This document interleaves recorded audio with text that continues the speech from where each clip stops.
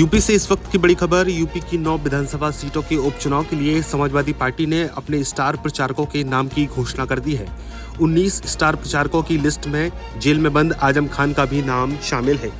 बता दें कि कई मुकदमों का सामना कर रहे आज़म खान लंबे समय से जेल में हैं। ऐसे में सपा की स्टार प्रचारकों की लिस्ट में उनका नाम लोगों को चौंका रहा है। लोग पूछ रहे हैं, आज़म खान जेल में है तो वो फिर कैसे उपचुनाव में प्रचार करेंगे? यूपी से इस वक्त की बड़ी खबर, यूपी की नौ विधानसभा सीटों के उपचुनाव के लिए समाजवादी पार्टी ने अपने स्टार प्रचारकों के नाम की घोषणा कर दी है। 19 स्टार प्रचारकों की लिस्ट में जेल में बंद आज़म खान का भी नाम शामिल है। बता दें कि कई मुकदमों का सामना कर रहे आज़म खान लंबे समय से जेल में हैं।